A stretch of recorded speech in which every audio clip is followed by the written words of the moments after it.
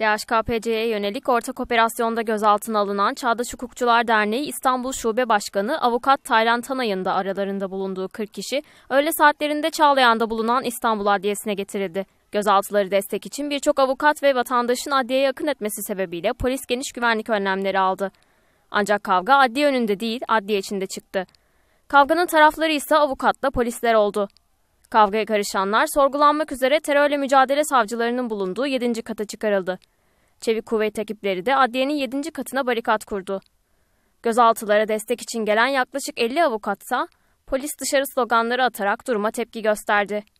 Barikatın kaldırılmamasına öfkelenen avukatlarla polis arasında yumruklaşmaya varan olaylar yaşandı. Kavgada 6 avukat ve 1 polis memuru yaralandı. Avukatlar yok burada şimdi.